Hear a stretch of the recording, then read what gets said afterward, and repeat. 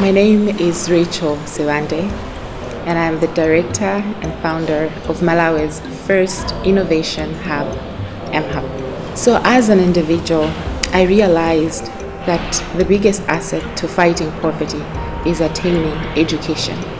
Education has been my key weapon in fighting poverty.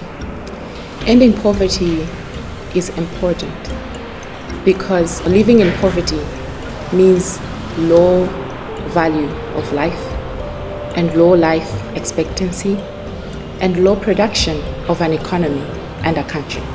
At MHub, we provide training. We want to create a generation of young people that can transcend from job seekers to job creators.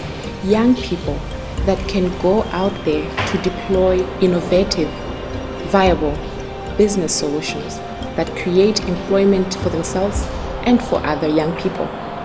At the same time, solutions that can create social impact within their communities, developing homegrown solutions by Malawians for Malawi, and more importantly, by Africans for Africans.